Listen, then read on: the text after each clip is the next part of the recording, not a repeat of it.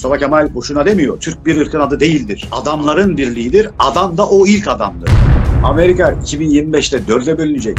Türkiye sınırların dışına çıktığında fevkalade süper bir ülke. Yapılarına bakıyorum doğru adımlar, ülkelerle olan diyaloglarına, ilişkilerine bakıyorum. Muhteşem, gurur duyuyorum. Ama Peki- sınırda Peki oradaki, oradaki bir tek yatırımlarla savunma sanayi karşıma çıkıyor. İyi bir şey. Geriye kalan her şey elimizde kalıyor. Atatürk onları huzurundan kovduğunda ben yaşadığım sürece bir daha açılmayacak. Bir kere Tunç Soyer'e soralım. Atatürk bilmiyor muydu? Sen daha mı biliyorsun bu işte? Mason locasına hala üyesin. Sen Atatürkçüsün niye kapatmıyorsun Mason localarını? İskeleye Agamemnon ismini ver. Başka isim mi kalmamış? Dalga geçiyor Türk halkıyla kendine oy verenler. Atatürk Çanakkale Savaşı'ndan sonra Hector'un üçü şimdi alındı diyor. Niye diyor? Bize unutturdukları Türk tarihini araştırınca göreceksiniz Hector kim. Uygur'u, Medine'yi, Türkiye'yi yıkan yani Agamemnon'un adı Çanakkale'ye gelen gemiye veriliyor. Bak Gergerlioğlu siz sen çık PKK teröristtir de altılı masa çeşitsin ben senin omzumda bakanlık koltuğuna oturacağım. Şimdi İtalya'da da bir şeyler oldu biliyorsunuz. Seçim oldu. Meloni diye bir kadın geldi. Türklerle ilgili olumsuz görüşleri de var. Ee, İtalya'da böyle bir şeyin olması Türkiye'nin planlarını sekteye uğratır mı? Valla izleyelim. Yani e, böyle hep olumsuz görüşle gelen sonra başka türlü oluyor diyorsun. Yani onu bir izleyelim. Yani o seçim başka bir şeydi. Şimdi seçildi. Buradan sonraki ne izleyelim? Yani e, e, halktan oy almanın e, politikası başka bir şey. Artık İtalya devletinin başında. İtalya'nın yaptığı anlaşmalar var değil mi? Mesela evvelki sene İtalya, Malta, Türkiye'nin bir masaya oturup yaptığı bir sürü anlaşma var. Malta, Evet. İtalya'nın askeri ve siyasi olarak Türkiye'nin yanındayız açıklamaları var. E, işte Vatikan'ın İşte yıllarca... bunları, bunları bildiğim için özellikle soruyorum. Çünkü Türkiye ile İtalya arasında, Fransa ile Yunanistan arasında nasıl böyle stratejik anlaşmalar varsa tam tersi İtalya ile bizim Ya, aramızda. Fransa o yüzden gitti. Biliyorsun e, Galler toplantısında yoktu Fransa. Onun için bir yırtıldı. Çünkü Lozan orada yırtıldı. Fransa dedi Lozan'da ben de vardım. Şimdi benim olmadığım yerde Lozan'ı yırttınız. Ondan sonra Türkiye, İtalya, Malta'yı topladı. Fransa onu hatırlayacaktır. Bu medyaya düştü. O masaya katılmak istedi. Reddedildi. Onun üzerine gitti Yunanistan'la bir şey imzaladı. Şimdi bakın ne var burada aslında? Herkes Türkiye ile anlaşmak istiyor önce. Anlaşamayınca karşı tarafta mecburen kalıyor. Mecburen karşı kampa gidiyor. Hı hı. Ee, şimdi burası var. Bu aynı şey bakın Çin için bile geçerli.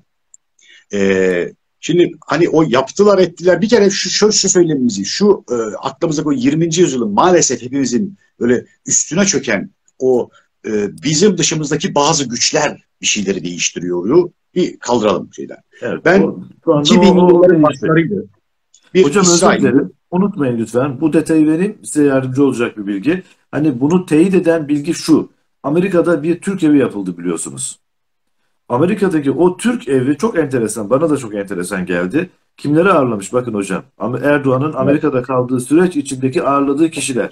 Bir günde altı başbakan vardı galiba en son ben baktığımda. Ee, İngiltere Başbakanı, benim elimdeki notlar hocam. Avusturya Cumhurbaşkanı, Lübnan Başbakanı, Polonya Cumhurbaşkanı, Rusya Dışişleri Bakanı, İran Dışişleri Bakanı ve daha bu liste uzuyor. Yani Amerika'da bir Türk evi ama sanki Birleşmiş Milletler gibi çalışıyor. Ofisi gibi. Amerika Amerika 2025'te bölünecek, dörde bölünecek.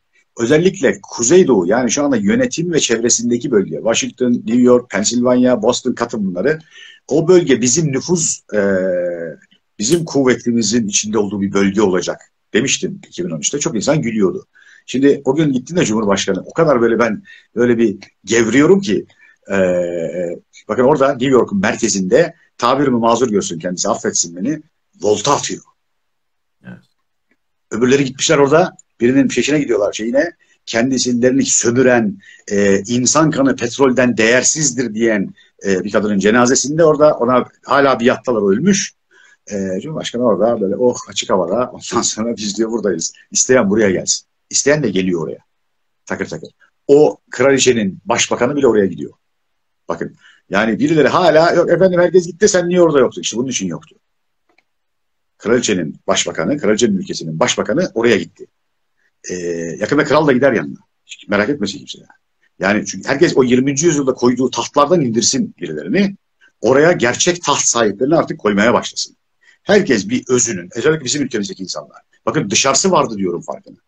Yani Afrika'dan bunları biz zannediyorlar ki masal anlatıyoruz biz. Yani gerçek görüntülüsüyle videosu. Afrika'dan Rusya'ya, Sibirya'ya, Amerika'ya, Güney Amerika her yere gidin. Her yere. Dünyanın her yerinde. Birileri üniformalı adam gördü mü kaçar. Dünyanın her yerinde. Bizde bile yani 90'lar 2000'ler son dönemin öncesine kadar biz bile kendi üniformalımızdan bile yolda çekinirdik değil mi yani? Evet. Polis askere yan gözle bakmazdı. Kaçar. Ee, ama e, dünyanın her yerinde bugün Türk üniformalıyı görüyor. Yani kaçacak gibi bakıyor Türk bayrağını görüyor kollarını açıyor herkes. Bunun sebebi var. E, yani geçen sene bu sözde soykırım konuşulurken dedi ki bir Allah'ın kulu gelsin bakayım oradan tarihçi, şeyci, e, devlet adamı gelsin buraya karşıma otursun bana Türk'ün bir tane soykırım yaptığının bir tane böyle şeyini ispatlasın. E, böyle bir şey olmaz. E, yani bellidir bizim şeyimiz, yerimiz. Dolayısıyla şuraya geleceğim. Şimdi bir, bir dünyada bir en tepede bir masa olduğunu düşünelim. E, o masada da herkes, herkesin olabilme şansı var. E, o masanın bir resmi yanı vardır, bir mafyatik yanı vardır. İşte birisi mafyatiktir, oradan gider, birisi resmi gider, birisi aileden gelir. Bir, bir şekilde herkesin, dünyada doğan herkesin o masaya gidebilme şansı var mı? E, olasılığı teorik olarak var, değil mi? Kim gider o masa, kim olabilir? Güçlü olan gider, yani en güçlü olabilen gider. E, dolayısıyla ben e, bir 2003-2004 yıllarında böyle bu sohbetleri yaparken e, bir İsrailli, Türkiye'de gelip bir takım kişisel gelişim eğitimleri yapmıştı ama ben hep böyle bir şüphe duyuyordum o eğitimlerin içerikleri ve orada yapılanlardan. Sonra da e, burada Etiler'deki evinde e, ölü bulundu. İsrail Berkolovitz e, hatırlıyorum. Bir, bir, böyle onun evine de gitmiştim ben. Böyle o kişisel gelişimle ilgili bayağı görüştük. Benim eğitimlerime e, konuk e, eğitimci olarak gelmişti falan. Böyle bir anlamaya, tanımaya çalışmıştım. E, ondan sonra şey demişti bana. Sen demişti böyle anlatıyorsun güzel ama bu hep dış güçler gibi anlatıyorsun. Yani sizin dışınızdaymış gibi. Şunu bilmelisin demişti. O zaman işte ben kaç yaşında? 30 yaşında falan. 30 bile değil. Ee, dünyayı yöneten güç var evet. Ama o gücün içinde sen de varsın öbürü de var o da var. Sen şu anda güçsüz parçasın sadece o kadar. Yani o güç senin dışında değil. Ee, bu mantıkla düşünürsen daha doğru kavrarsın meseleleri demişti. Şimdi daha iyi anlıyorum bunu. Yani elbette ki işte biz bahsediyoruz 16 artı birler orada onlar konseyi bilmem ne e, birbirine karşıt yapılanma var. Ama bunların gelip oturduğu bir masa ve orada aldıkları karar da var değil mi? Şimdi o masaya oturdukları an oradaki kararlar gücün dengesine göre belirlenir. Doğru mu? Yani her tür benzeri masada böyle olur. Ee, şimdi buradan baktığımız zaman e, bir kere dışımızda birileri yapıyor diye bakmayalım bir. İki, bin yılları hesaba katarak ve 200 yıllık ricat planı diyorum. Türkiye'nin de dışına çıkıp hikayeye e, bakarak gördüğümüzde göreceğiz ki şu anda bu e, dünyanın dizaynını veren en güçlü grup, bakın özellikle söylüyorum, en güçlü grup Türkler, Türk devleti o masada. Ee, bir kere bakın şuradan düşünün hemen. Şimdi o masada kim diyelim? Ruslar var, Çin var, İngiltere var, e, Pentagon hala var diyelim. Bence yok da çok düştü yani. Dikkat edin Amerika açıklama yapmıyor, CENTCOM yapıyor. Bakın bunlara hiç dikkat etmiyor insanlar. Biraz önce sen de söyledin. Nancy Pelosi kim? Temsilciler Meclisi. Ne işi var Nancy evet. Pelosi'nin burada uluslararası açıklama yapıyor? Böyle bir şey var mıydı Amerika'da? Bakın Temsilciler Meclisi şey de değil, Senato da değil. Temsilciler Meclisi Başkanı geliyor burada açıklama. Bu arada Nancy Pelosi'nin kökünü araştırsın herkes. Geçmişini de araştırsın. 1863'te e, şeye giden e, Lincoln, Meluncan Lincoln ve e, Kennedy, bu arada Meluncanların son vefat eden lideri de Kennedy'ydi. E, bu bağlantıları kursun insanlar onlara mektuplaşarak Sultan Abdülaziz'in yardım gönderişi, o yardımları götüren 100 subayın orada müthiş taltifler, takdirlerle Amerikan vatandaşı olarak kalışı hikayesi vardır. Ee, Amerika'nın yönetim bölgesinde. Nancy Pelosi'yi bir araştırsın herkes. Şimdi demin dedi ya Nancy Pelosi, buraya şunları yapmak lazım diyor. Nancy Pelosi'nin bu dediği ne işe yarar? Bizi daha böyle hırsla oraya çeker. Değil mi yani öyle, buraya dediğinde bunu? Bunu Yunanistan'la ilgili dese. Veya bilmem şeyle ilgili dese, Karabağ'la ilgili dese. Değil mi? Başka bir işe yarar mı yani? Zaten onu arka planda eğer yapılacaksa yapılır. Nancy Pelosi çıkıp da bunu halka duyurmaz ki.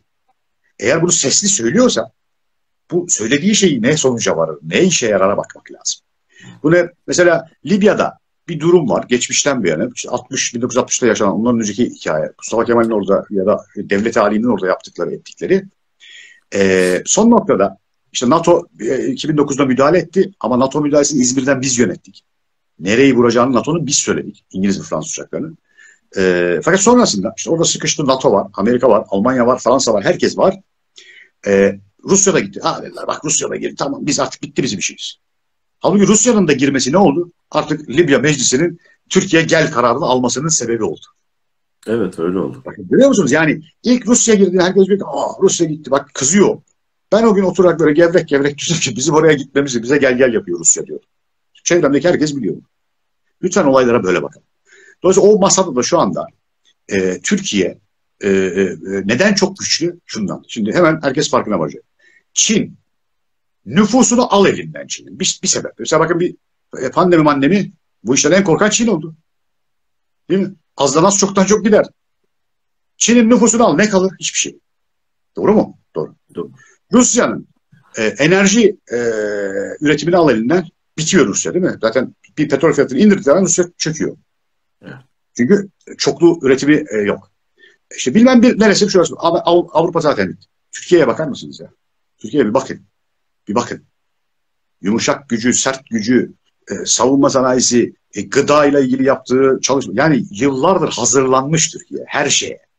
Yani ben bakın çok örnekleri bunu kendim yaşadığım için e, böyle sağlam savunabiliyorum. İşte herkes biliyor. Salgın başladı, yazdığım yazıyı biliyor. Hemen arkasından bu iş bitecek mi ne zaman bitecek? Dedim ya bu iş biterse biter, bitmezse Türk devleti bu işin çözümünü bulur. Dünyaya da bedava dağıtacağını açıklar bu iş biter dedi. Aynen bu laf söyledi. Bir hanımefendi dedi ki hocam siz de çok abartıyorsunuz dedi. Aynen öyle. Ben ertesi gün cuma dedim ki ben abartmıyorum. Devletim abartıyor. Aa dedim aynı yazıyı bir daha koyuyorum. Öyle oldu mu konu? Böyle bitti mi? Bitti. Birileri kıtlık diyor. Daha yıllar önce diyordu. Arkadaşlar diyordum Türkiye buna hazırlanıyor. Afrika'da müthiş bir organizasyon yapılıyor. Daha e, alta atılmadı. Milli uydu atılacak. E, daha teknoloji üzerinden tarımla ilgili ıı, neler var. Aklınız şaşacak duyacaklarınıza. E, Milli Tohum Bankası'nda binlerce yıllık e, buğday tohumu üretiliyor diye anlatıyordum. E, tahıl şeylerini yaktılar. Hemen aynı hafta Türkiye Türkiye bölgesinden, tarım yapanların bölgesinden, Sudan, Cizre'den ilk ürünleri dedi. İlk bunları ürettik. Ayçiçeği buyurun. Siz de tadına bakın. E, Milli Tohum Bankası'ndan çıktı bir yetkili. İşte 7 bin senelik tohum ürettik. Rakamı yanlış söylüyor olabilirim. 700, bir başakta 700 tane var. Ya ne evet. kıtlık mıtlık yok kardeşim dedi. Bakın bunlar oluyor. Ben o yüzden tekrar tekrar tekrar tekrar söylüyorum. E, hak da veriyorum. Milletimizin inanası gelmiyor belki. Çünkü öyle bir yüzyıl yaşadık ki hakikaten e, o yüzden hakikaten ve haklı kelimesini çok fazla kullanıyorum. Kararttılar her şeyi. Yani yüzyılın başında söylemiş Mustafa Kemal işte. Gaflet perdesi örttüler demiş. Daha o zaman örttüler demiş. Düşün. Kararttılar her şeyi. Ve öyle bir yüklendiler ki bizim üzerimize. Bizim devletimizde şu Ricat projesinin özelliği bu işte. O göbekte en e, yiğit asker e, maalesef en ezilen adam oluyor Ricat sırasında. Merkezde e, devlet geri çekildiği için biz burada ezildik, büzüldük. İşte 80'li yıllar 15, 20, 25 yaşlarımız e, 27, 30 yaşına geldiğimizde ya diyorduk bu devlet nasıl ayakta duruyor arkadaş? Değil mi şimdi? Düşünün. E, ben diyelim bir uçuk konuşuyorum. Ya arkadaşlar son yüzyıl bu devletin ayakta durması uçuk değil mi sizce? Yani değil mi? Yani normal parametrelerle hesaplanabilir bir şey mi? Yani e, Türkiye'nin e, 1960 sonrası dönemde 40 senesini hatırlayalım. Gelenin yediği, gidenin yediği değil mi? Devletin malı deniz denen. Ondan sonra ye, nereden peki yani bu devlet dünyanın en zengin devleti miydi ki yeye bitmedi? Bakın soru işareti bu değil mi? Bir, şey var burada arkada. Bizim bilmediğimiz, görmedik. O zamandan konuşuyoruz. Yani. O zamanı söylüyorum. Ben zaten bunu demeye, 2000 yılında falan bunu demeye. Dedim ki bir şey var abi zaman yani. Bu mantık almıyor yani. Bu nasıl durur ki ayakta? Parametreler bu, bütçe bu. Hep cari açık var. Cari açık açık açık açık açık. Batmış olması lazım devletin 100 senede. Hep açık. Ya nasıl batmaz ki 100 senede? E, kağıt üzerinde. Ondan sonra. Ben 94 havalimanında çalışıyorum. Her gün çuvallarla para gönderiyorduk. Faiz gönderiyorduk İngiltere'ye, Amerika'ya. Çuvallarla böyle. Ondan sonra o çuvalların öcünü işte bir gün uçuş bitti. Manchester United Galatasaray'da gelen İngiliz Türk teslim almaya öcümüzü öyle aldık yani. Manchester dedik. Ama çuvalla parayı götürdü adam yine. Ee, şimdi bu nasıl duruyordu ayakta? Ee, birazcık tarihe bakmaya başladınız. Biraz satır arası bugünkü konuşmalar, Cumhurbaşkanı'nın konuşması, birinin ona karşılığı e, bakmaya başladığınızda herkes bunu görmeye başlayacak benim gördüklerim. Ben başka bir yerden bir bilgi alıyor değilim. İnanın işte bunu çok e, Türkiye'de herkesin tanıdığı isimlerde. Ya hocam da bu bilgiler sende mi var? Ya vallahi ben de şaşırıyorum diyorum. Yani bende mi var? Ama diyorum ben böyle acayip bir arşivler falan verilmiyor bana. Yani. Basından, medyadan. Çok enderdir belki yüzde on. İşte devletin bir kurumundan bir yerden bir dostumuz, bir arkadaşımızdan bir şey öğrenmişimdir. Hocam çok, e, çok iyi Yani herkes okuyabilir diye söylüyorum bunları. Çok iyi şeyler söylüyorsunuz. Çok güzel şeyler söylüyorsunuz ama Türkiye'nin bir an önce bana sorarsanız şu hukuk düzenini, adalet düzenini bir e, yeni baştan dizayn etmesi lazım. Çünkü özür dilerim e, bir yerde e, Sedat Peker'in anlattıklarını biz yabana atıyoruz. Bir yerde vurgundan bahsediyor. Devlet atmıyordur yaban. Bütün Türkiye bana sorarsanız. Hiç devleti yabana atmıyor. Adam, Atıyor olsaydı referandum yapmazdı. Özür dilerim hocam. Kamuoyuna yansıyan tarafıyla konuşuyorum. Adam vurgundan bahsediyor vurgun yaptığı iddia edilen kişiler istifa ediyor görevlerinden. Yaptığını kabul ediyor. Ondan sonra Sonra oralarda başka başka pislikler ortaya çıkıyor. Sonra hukuk müdahale ediyor tamam mı hocam? Neye müdahale ediyor? Mesela bir tanesinde başörtüsüz fotoğrafını, videosunu nasıl yayınlarsınız? Bu kişinin e, haklarına saygısızlık. Ya ortada vurgu var. E, kadın videoda diyor ki bağırıyor. Sizin para hırslarınız yüzünden diyor. Bilmem ne diyor. itiraf ediyor. Ama e, geliyoruz başörtüsüne takılıyoruz. Aynı konu aslında. Demin ki konuna bir tane örnek vermiş oldun şimdi. Şimdi bu başörtüsüyle ilgili o kararı alan hakim. Sence e, işte bizim tarafta olan akılsız yargıyı bilmeyen adam mı? Yoksa Vallahi bilinçli bir kripto olabilir. Hangi ihtimal olabilir? Her ihtimalde ben işte üçüncü, dördüncü ihtimalleri de değerlendiriyorum. Bu ülkede gördük bunları çünkü hocam. Bu ülkede yani dünyanın birçok ülkesinde görülmeyeni görüyoruz, yaşıyoruz. Şunu demeye çalışıyorum. Gerçekten çok güzel şeyler söylüyorsunuz. Bunların birçoklarını evet. da zaten e, yaşayarak öğreniyoruz. Doğru olduğunu da görüyoruz ama e, Türkiye'de hakikaten bir sistematik değişime ihtiyaç var. Yani bu hep siyaseten, şimdi mesela konuşuyoruz. E, ben e, çok net konuşacağım. Burada hani siyaset yapmıyorum ama Türkiye'de siyasi bir e, zemin değişikliğine de ihtiyacın olduğunu düşünüyorum. Siyaset bu kadar kirlenmemişti. Yani şunu söylüyorum. Evet, Türkiye'nin Türkiye'nin 2006-7 yıllarıyla 2005 diyeyim hatta 2005 ile 2015 arası bunu FETÖ'ye bağlamasınlar. Yalnız bunu 2015 deyince hatta 2016 17 hatta 2017'ye kadar Türkiye hakikaten ekonomik olarak da birçok noktada müreffeh ülke. Yani biz doların 1 liraları gördüğü zamanları yaşadık ülkede evet, yıllardır. Evet, evet. Ama şimdi bakıyoruz yani ekonomik olarak zaten çökmüş vaziyetteyiz. Evet para dönüyor ülkede ama borç harç dönüyor. Al, alım gücü çok e, ciddi oranda zarar görmüş vaziyette. Adalete güven noktasında AK Parti'ye oy veren de CHP'ye oy veren de aynı şeyi söylüyor. Güvenmiyorum diyor. Yani bu ülkede mesela bir yerde bir taciz haberi, çocuk tacizi oluyor ya da işte adam polis yakalıyor ya önemli değil ne olduğu konusu. Polis yakalıyor, evet. hakime teslim ediyor. E, diyorsun ki bu adama en az 10 yıl yatarı var. Nöbetçi mahkeme serbest bırakıyor adamı. Evet. Sonra evet. kamuoyunda Twitter'da kıyamet kopuyor. Adam kadını evire çevire dövmüş mesela. Evire çevire videosu var. Evire evet. çevire dövmüş. Nöbetçi mahkeme serbest bırakıyor. Ertesi gün Twitter'da kıyamet kopuyor. Nasıl bırakırsınız? Sonra bakan mı müdahil oluyor? Birisi müdahil oluyor. Tekrar tutukluyorlar. Yani evet. Türkiye'de e, maliye sistemi mesela. Vergi. E, biz yaşadık işte. Yani ne sıkıntılar ne sıkıntılar çözene kadar. MC YouTube firmaları, YouTube ajansları. Yani bu oturtana kadar yıllar geçti. Yani geçmişe dönük e, ne cezalar kesildi. Anlaşıldı, uzlaşıldı ama süründürdüler. Yani devlete düşman ettiler birlikte öyle evet, söyleyeyim. Evet, Benim birçok evet. arkadaşım çekti gitti evet. yurt dışına. Ben bununla mı uğraşacağım dedi. Yani e, ondan sonra daha çoğaltabiliriz bunları. İşte e, rütüğün kestiği cezalara bakıyorum ben. Yani evet. benden olana başka türlü, olmayana başka türlü. Ya adalet benden olana ya da olmana diye, olmayana diye bakmaz. Yani şunu demeye çalışıyorum hocam. Türkiye sınırların dışına çıktığında bunu e, samimiyetle inanarak söylüyorum. Sınırların dışına çıktığında fevkalade süper bir ülke. Evet. Çünkü adımlarına bakıyorum, doğru adımlar, yapılana bakıyorum, doğru adımlar, ülkelerle olan diyaloglarına, ilişkilerine bakıyorum, muhteşem, gurur duyuyorum. Ama peki, sınırda peki oradaki, oradaki yatırımlarla... Bir tek savunma sanayi karşıma çıkıyor. İyi bir şey. Geriye kalan her şey elimizde kalıyor. Evet, evet. evet güzel söyledin. Güzel söyledin. Ben de zaten bunun için herhalde bir, bir buçuk ay falan oldu. Ee, milletin çığlığını milletin adamına iletiyorum temizleyin Sayın Başkomutanım diye bir video yaptım biliyorsun. Evet. E, ve yıllardır anlattığım bir şeyleri artık böyle çok isim isim, cisim cisim anlattım. Ama hala e, biz yani e, yine böyle a, anlayamıyoruz derken bunu eleştiren anlamda söylemeyeceğim. Çok da haklı olarak. E, yani öyle bir içindeyiz ve onlar öyle bir içimize girmişler ki anlamak ve kabullenmekte zorlanıyoruz. Hı hı. E, o yüzden ben şöyle bir cümleyi kurayım tekrar. E, değerli milletim, biz kendi kurduğumuz e, ilmik ilmik böyle 300 sene bir altyapısını işlediğimiz, sosyolojisini, mantığını oluşturduğumuz, e, İslam'ın e, Muhammedi tebliğin şerefiyle, onuruyla o e, müktesebatını oluşturduğumuz ve sonra gelip e, dünyayın dünyanın yönetim merkezi olan Anadolu'ya yeniden gelip, bakın yeniden gelip cümleleri seçiyorum, e, kurduğumuz e, devletimizi e, bundan 500 yıl önce yani kurduktan neredeyse 150 yıl sonra kaybettik elimizde. Bir önce bunu bilelim ve kabul edelim. Maalesef acı ama gerçek. Hatta bunu 1842 yılında e, yani en derin en derin masa ya e, tam böyle eş bizle eş hukukta olan bir ortak alacak kadar kaybettik.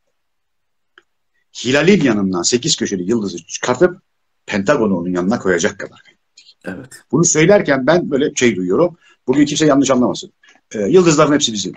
E, bizim bayrağımızdır. E, bugünkü ay yıldızlı e, al bayrağımız bizim bayrağımızdır. O da sıkıntımız yok.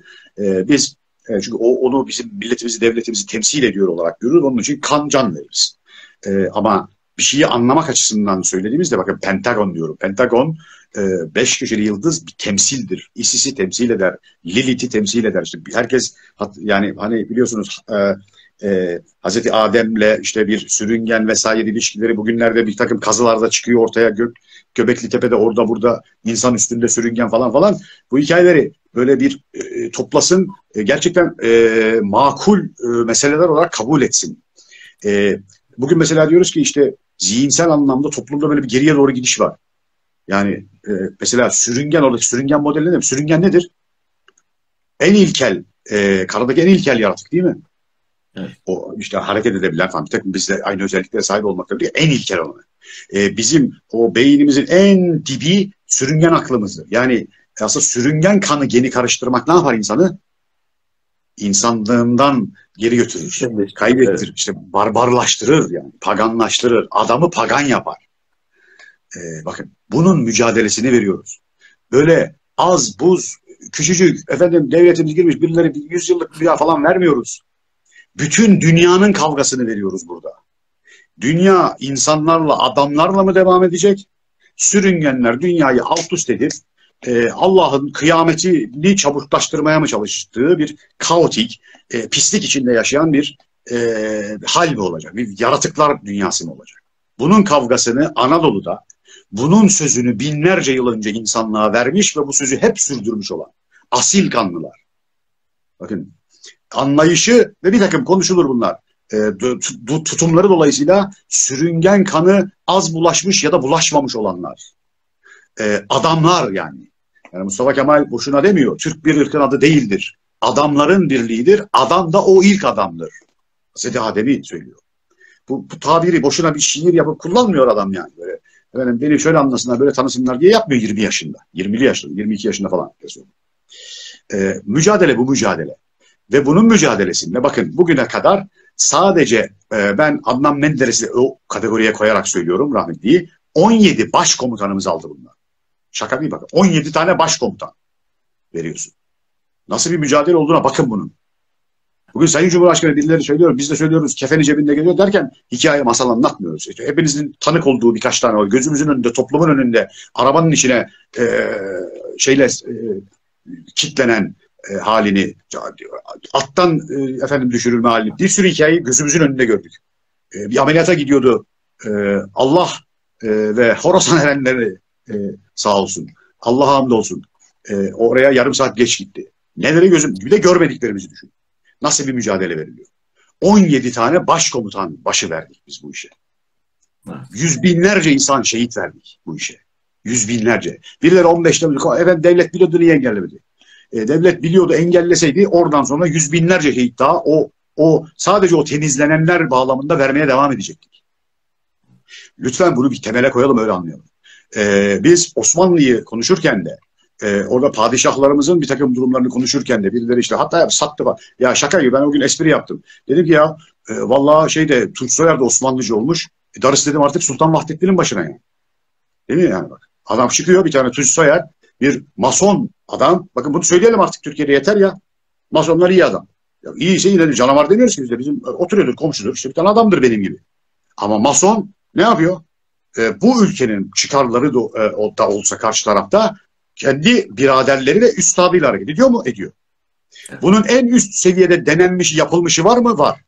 Mason üstadı, e, Tunç Soyer'in bağlı olduğu locanın, Cenevre locasının üstadı e, Atatürk onları huzurundan kovduğunda e, ben yaşadığım sürece bir daha kurulmayacak, açılmayacaktı. Bir kere Tunç Soyer'e soralım. Atatürk bilmiyor muydu? Sen daha mı biliyorsun bu işte? Mason locasına hala üyesin. Sen Atatürkçüsün niye kapatmıyorsun Mason localarını?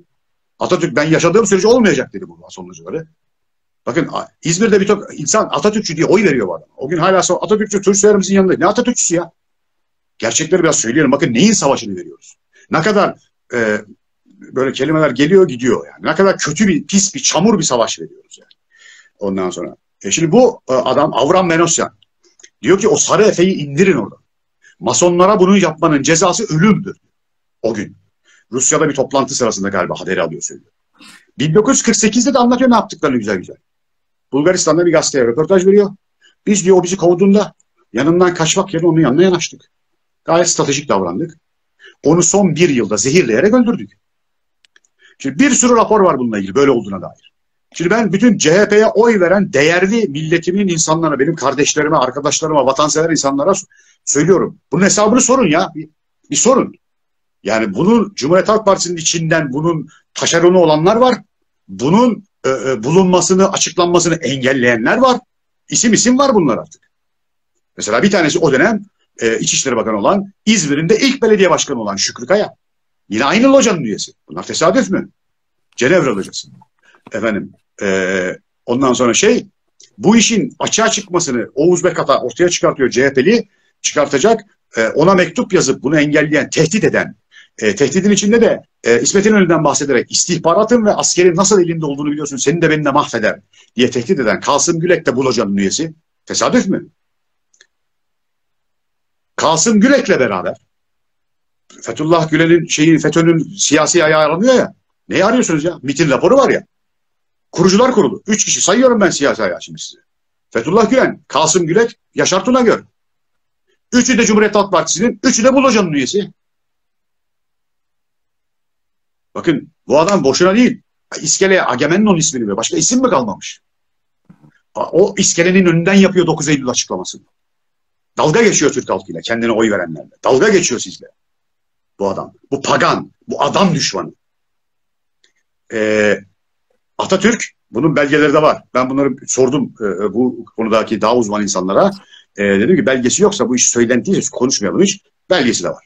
Fatih Sultan Mehmet Han İstanbul'a girdiğinde Atatürk Çanakkale Savaşı'ndan sonra Hector'un şimdi alındı diyor. Niye diyor? Çünkü biraz bize unutturdukları Türk tarihini araştırınca göreceksiniz Hector kim. İçinden Odin'i çıkartan, e, o İsveç'in, Norveç'in üzerine e, destanlar yazdığı Türk Kral Odin'den, Oğuz'dan bahsediyorum.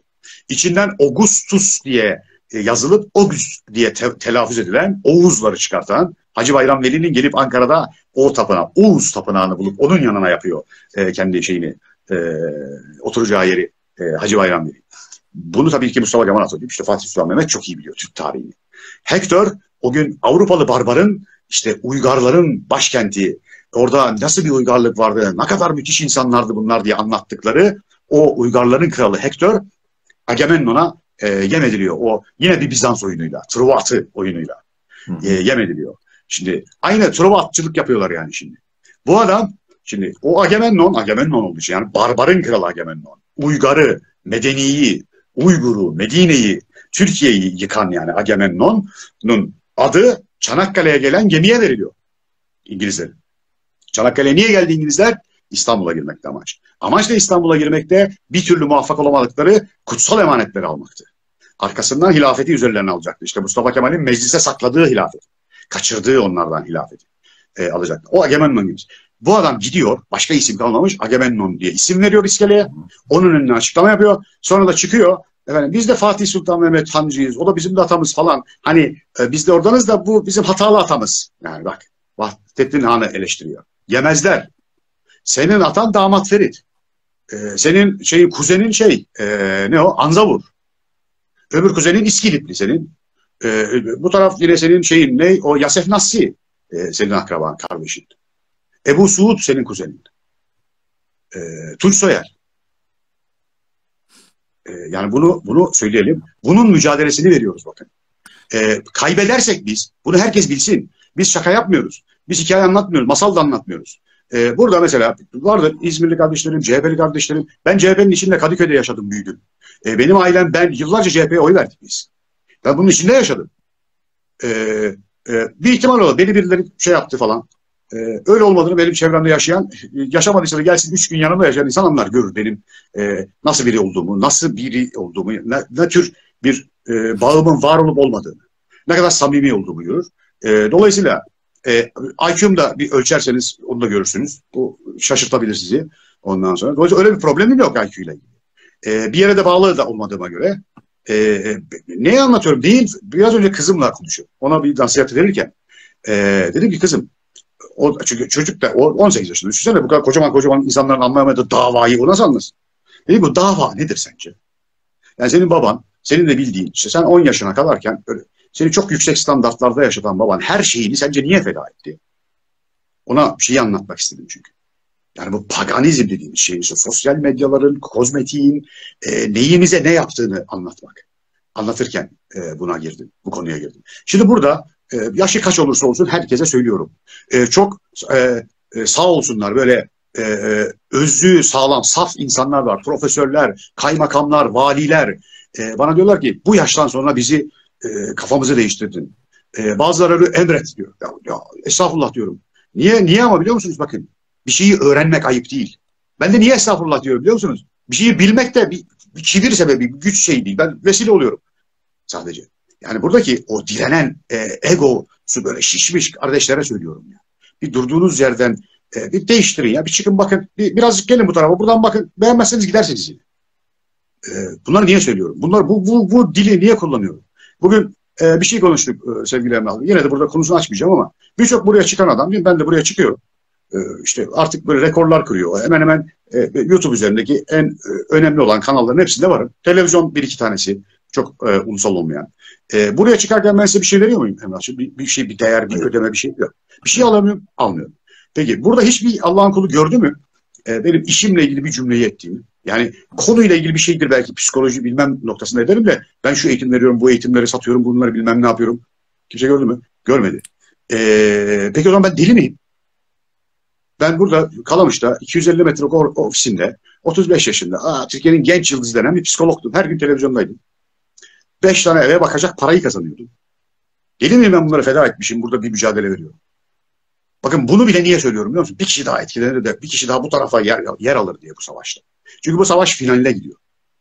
Ha şundan da kimse yani bu savaş bitince biz de sizi yiyeceğiz falan yok öyle bir şey yok. Bu savaş bitsin keşke biz kazanalım. Biz ondan sonra kazandığımız ortamda bizim güçlü olduğumuz ortamda onların sizin zihinlerinize müdahale edemediği ortamda sizi yine karşımıza alır anlatırız. Allah şükürler olsun biz adamız pagan değiliz. Biz kimse asmayız da kesmeyiz de, çok şükür. Bu ülkede bakın bu ülkede şu an e, e, külliyeden bahsediyorum. E, külliyeden bahsediyorum özellikle. Herhangi bir partiden bahsetmiyorum. Orada e, Cumhurbaşkanımızdan bahsediyorum. Onu bir incelesin herkes. E, bu ülkede herkes dediğin gibi 500 yıldır bu Alevi Türkmenlerden başladı o Ebu Suud'la. E, onlar ben kendi çevrem işte ailem e, dönüyorum diyorum kızıyorum onlara. Yani haklısınız tamam ama haksızsınız. Niye bıraktınız gittiniz abi devletinizi Mücadele edecektiniz. Ölecektiniz orada. Yok öyle devlet, kızıp devlet bize bunu yaptı. Devlet yapmıyor. Devletin içine senin yerine giren yapıyor. Dolayısıyla bugün herkes de bunu son yüzyılda Kürt de yaşadı. Efendim dindar da yaşadı. Yaşadı mı? Yaşadı. Dindarlar bayağı bir yaşadı mı son 50 yıldır? Yaşadı. Evet. Söylesenize bana diktatör dediğiniz Recep Tayyip Erdoğan eline silah mı aldı, taş mı aldı, sopa mı aldı, dağ mı çıktı? Ha? Canınız sıkılıyor, gezide ortada yıkıyorsunuz. Diktatör insin. Siz mi diktatörsünüz o mu diktatör? Bakın buralardan anlam çıkartın diye buralara gidiyorum, e, sapıyorum. İnanacağınız şeyin saflığına bakın. Ne yapmış?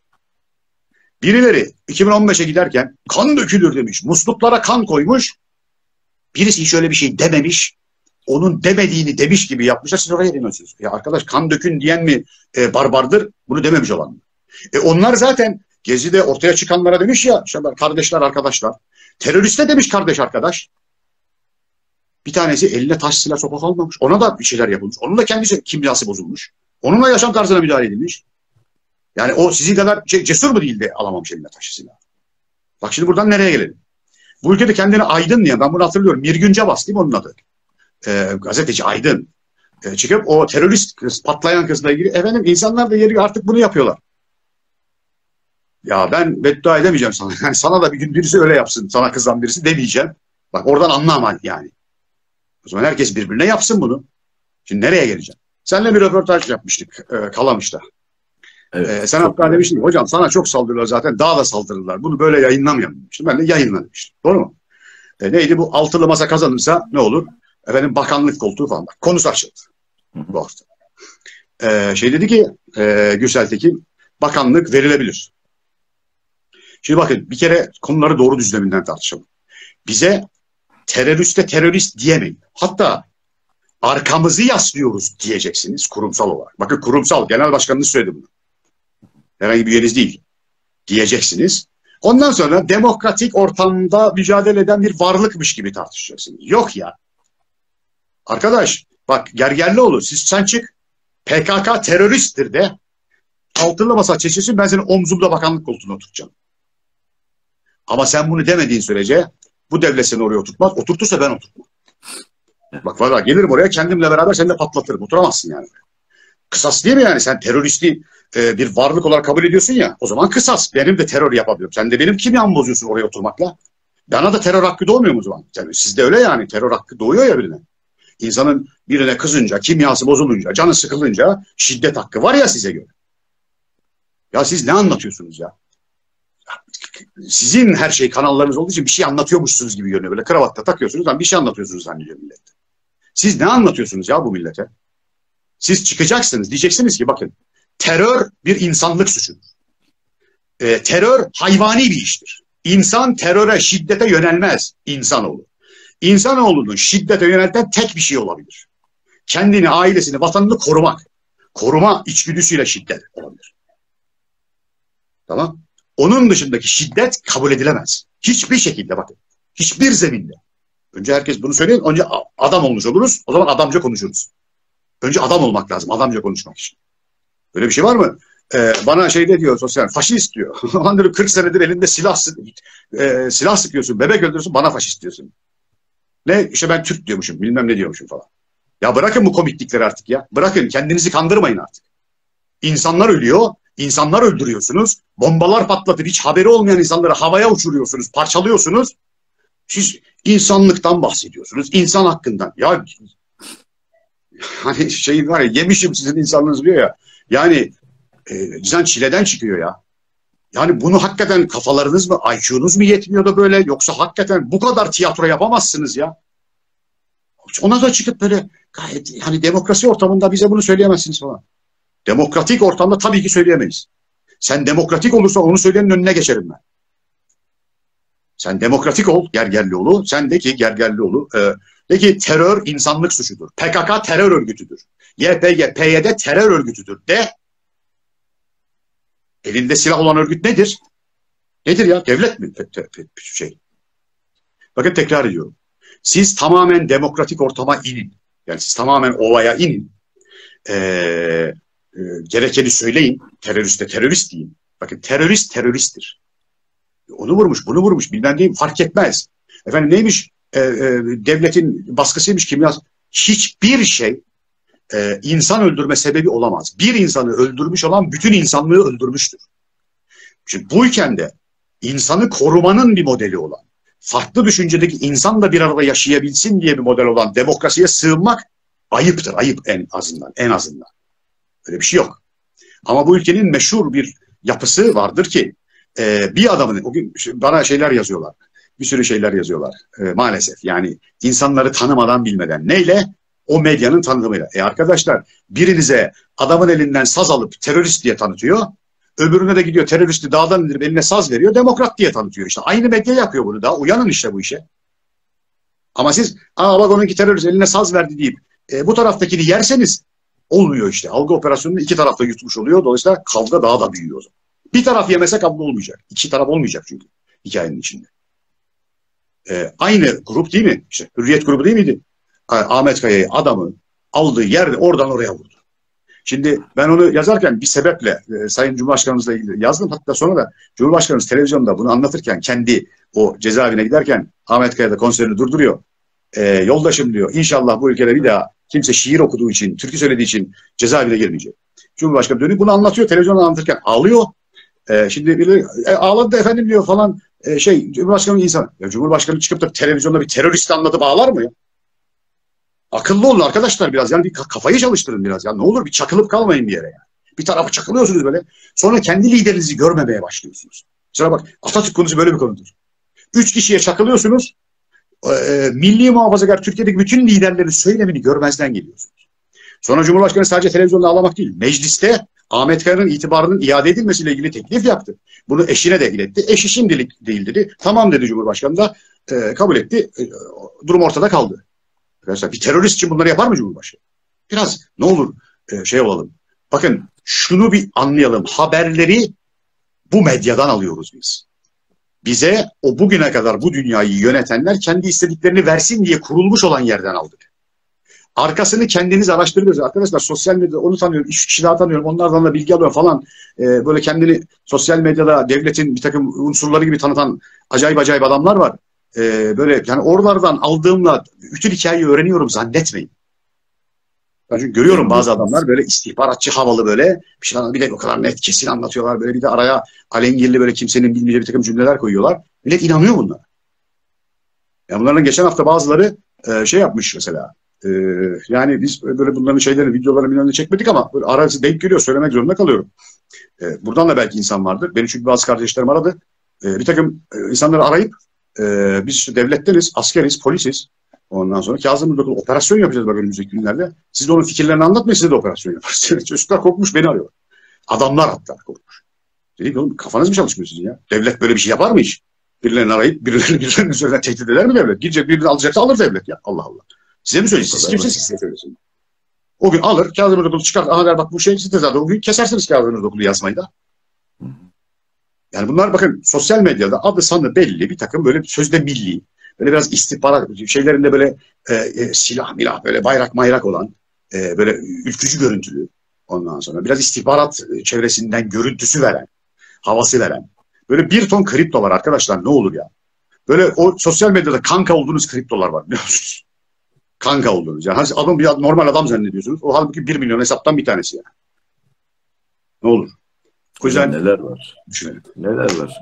Bana Yüce Allah bize Yüce Allah bize yolu gösteriyor. Diyor ki düşün düşün. Aklet diyor. Çalıştır. Evet. Direkt al hop servis et demiyor. Bir dur, bir dur abi bir dur. Düşün, çalıştır, tefekkür et, istişare et. Arada bir esneler, nefes al.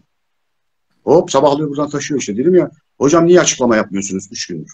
Üç gündür anlamaya çalışıyorum çünkü bir önce anlayayım da sonra açıklayayım ben size. Çünkü ben sorumluluk sahibi olduğumu düşünüyorum yani.